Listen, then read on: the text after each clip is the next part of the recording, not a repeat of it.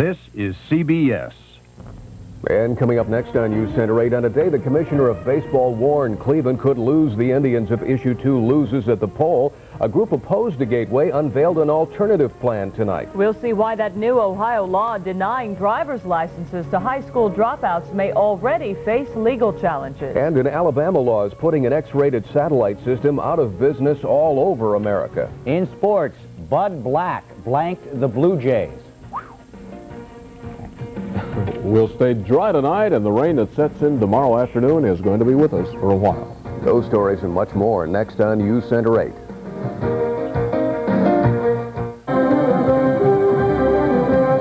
Now, Tim Taylor, Robin Swoboda, Casey Coleman on sports, and Dick Goddard with weather.